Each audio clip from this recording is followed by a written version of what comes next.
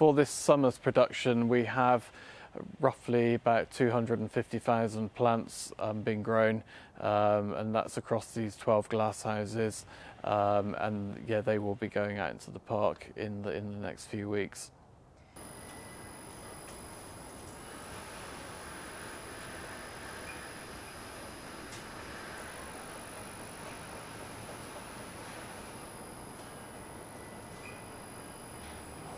This is zone one where we grow um, tropical plants for the displays in St James's Park and in Regent's Park. Um, as we go to the rest of the glass houses, we have different zones for, for different plants.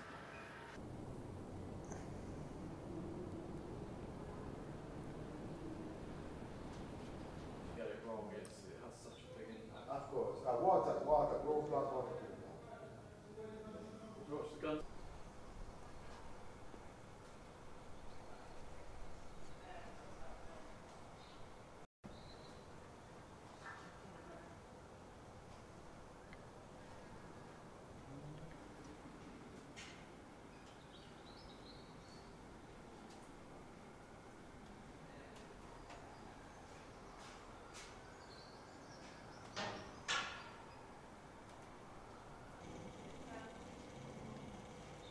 You know how to get out? Have you got the code?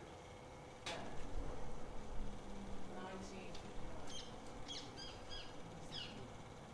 We grow around 400 different varieties of plants, so that ranges from everything from um, you know, these pelargoniums, which will go in front of Buckingham Palace, to um, some more herbaceous type plants that will go to Richmond Park.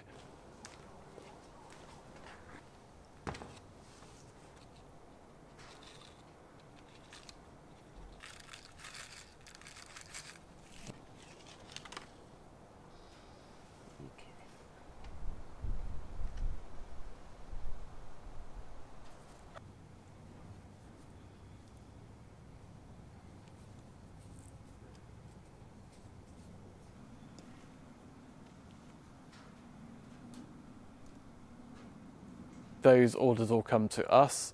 We collate them and then we start to look at what we can produce.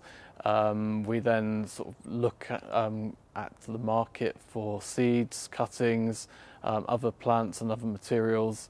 And then um, once that starts coming in, we, we grow them according to the, the um, delivery date of each park.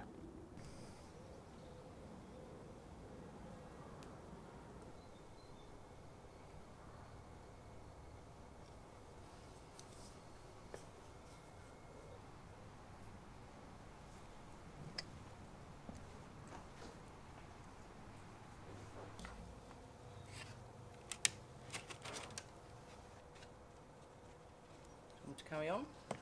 if the sun comes out and the temperature rises in the glass houses, then the vents open in the roof, um, and that that drops the temperature. If it gets too sunny as well, we have screens that will go across to stop the plants from getting damaged by the strong sun.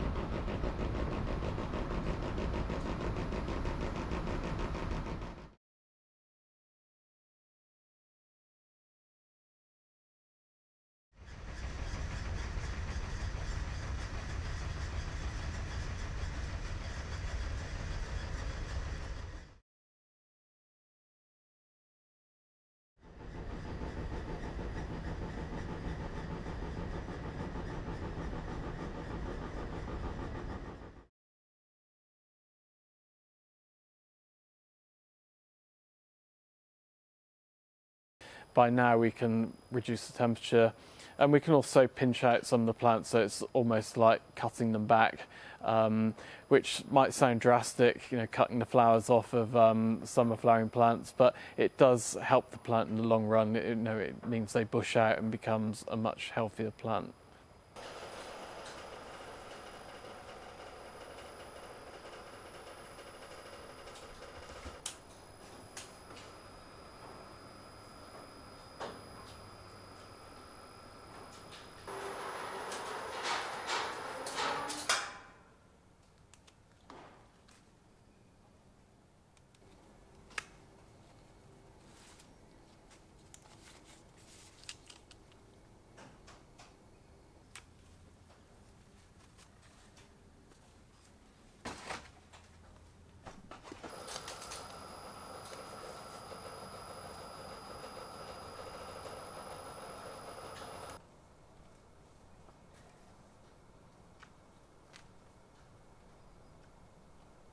They are grown for the front of Buckingham Palace.